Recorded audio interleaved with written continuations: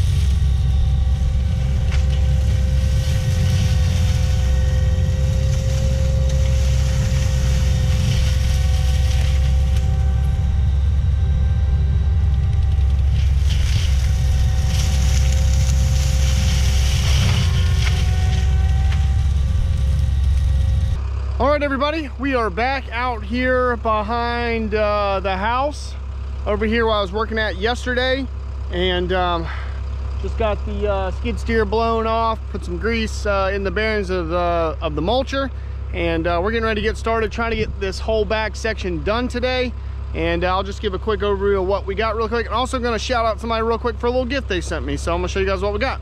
So my buddy Sam over at TriStar Digging, he came uh, down a couple months ago, or like a month or so ago, and uh, picked up a mulcher for his uh, Prinoth mulcher for his Cat 308. And uh, he uses one of these auto gimbal things. and what you do is you put your GoPro in right there and you turn it on and it keeps the GoPro like you can turn this thing this it's not on but you can turn it all kinds of different ways and it'll keep the GoPro completely level no matter which way this thing is turned it will keep the GoPro level and I don't have it in there right now I got to film the thing with the GoPro but um, I just want to give a big shout out to Sam for sending this to me. I put my magnet mount on the bottom of it. It's got a screw in bottom for like a little for hooking to a tripod. It comes with a little mini tripod for setting it up. I hooked my uh, magnet mount. It's got a screw in bottom uh, and I just hooked my screwed my magnet mount into the bottom of it. But this thing's really cool. And if you guys haven't checked out TriStar Digging he has a really really cool channel. He does a lot of really cool stuff um, and he takes really good he does really good content like he actually takes a lot of time to uh, to make really good content and produce really good content and film really cool stuff so just want to shout him out really quick um, uh, over at TriStar Digging for sending me this thing. He didn't have to do that, but he did. So he's just a really great guy. And he makes, like, if you like Dirt Perfect or, um, you know, Captain Kleeman, uh, those kind of guys who like really make really, really good content, um, he is, he's awesome. He makes some really cool stuff. He does all kinds of dirt work, mulching. Uh, so yeah, thanks, Sam. I think he, he enjoyed running. He ran the 120 with the brush cutter on it with the Mega Mower. He was, he was, uh, really enjoying that. Uh, so appreciate it, Sam. I'm gonna use this thing today and, and uh, have a good time with it. So thank you, buddy. All right, so I'm gonna try to get this corner right here and this corner right here done today. That's my goal. Shouldn't be a problem. The only thing that we've got to do is work around these piles of trash. There's four of them. There's one here. I think, yeah, one, two. There's a third one around this tree, and then there's another one right back there uh, in the brush back there on the very edge of of this uh, this corner. So we're gonna have to work around those. I talked to the client yesterday about bringing the Mini back in here in a couple of weeks when I get it back this way from the farm job and coming back over here and uh, and getting that taken care of um, and pulling all that stuff out so we can get rid of it. So, all right, let's go ahead and uh, get started. Hey everybody, if you're interested in getting one of these mulchers, please contact my friends over at CCE Equipment. They're a full-line dealer of Prinoth, Denis, Cimaf, Fecon, Loftness, uh, as well as ASV and Wacker Neuson equipment. Uh, they carry a full line of stuff. Um, they do sales, rentals, they ship nationwide. If you need anything, please look them up and uh, use the promo code IDIGIT and they will hook you up. Thanks guys.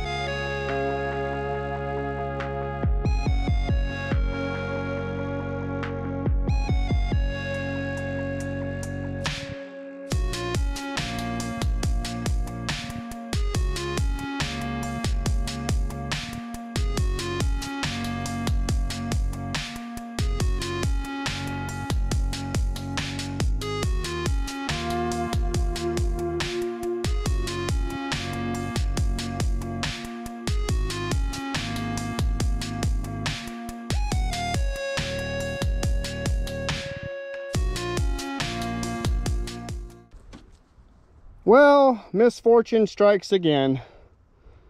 Hit a big old bale of chicken wire right in this hole right here, buried, buried in the grass. Never saw it. So, hopefully it didn't hurt anything. It stopped the head pretty much dead. And last time it did that, it blew out one of the, the fittings over there on the uh, hookup. So I'm hopeful that that did not happen this time. So let's see if we can't get this out. Yay. All right, luckily that wasn't too bad, got that out. Uh, the owner helped me out really quick getting that out, which was nice. And uh, we just pulled that bale right over there, got it out of the way.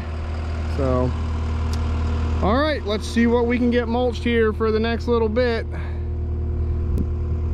It's a mess, but we'll see if we can't get it. I'm uh, I'm basically, he walked, he just walked through here with some orange spray paint. I'm gonna stay out of this. There's a bunch of metal and stuff in there. So where you see that orange line, I'm not going anywhere in there now. Um, I'm coming back in about a month with the Mini and we're gonna rip all this out, consolidate it, and then uh, he's gonna haul it off in his dump trailer. Luckily he owns a garbage service, so he's got trucks and trailers to haul this stuff off with, which is awesome. So I'm just gonna kind of cut through here, or stop here and we'll start working this. The only thing that we uh, know that's in here is that barrel right there. And that's it. At least in this section, all the way down to about that where that tree is. So, okay, let's see what we can get done before the day ends.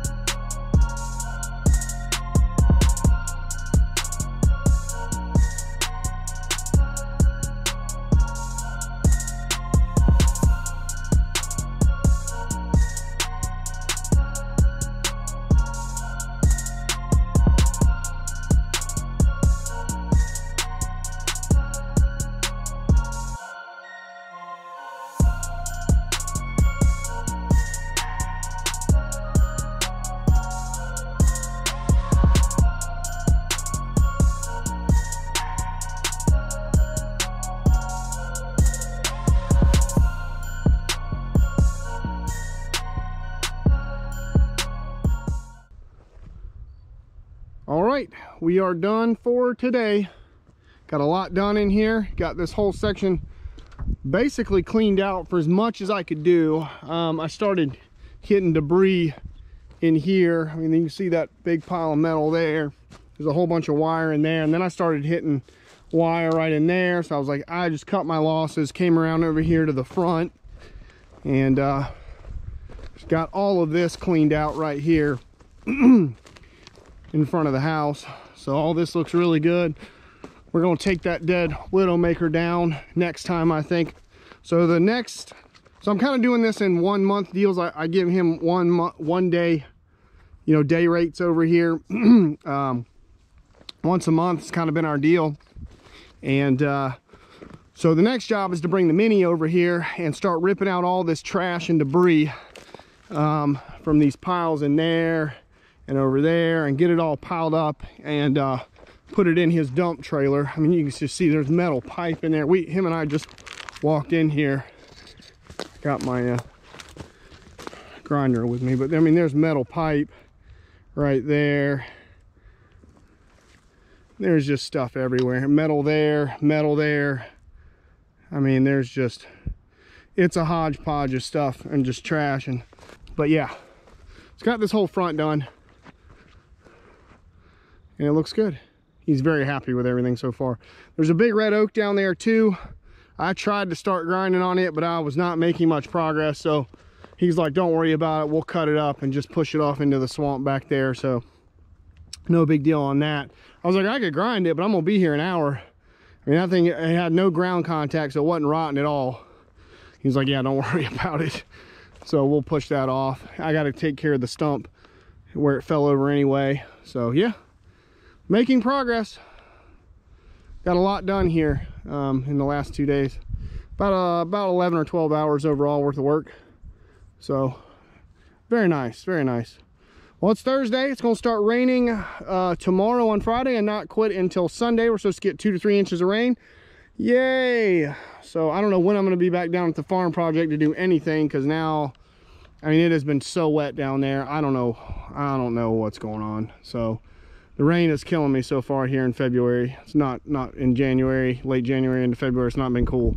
Not loving it, but uh, do what you do. So beautiful afternoon, beautiful evening out here. He's got a gorgeous property out here.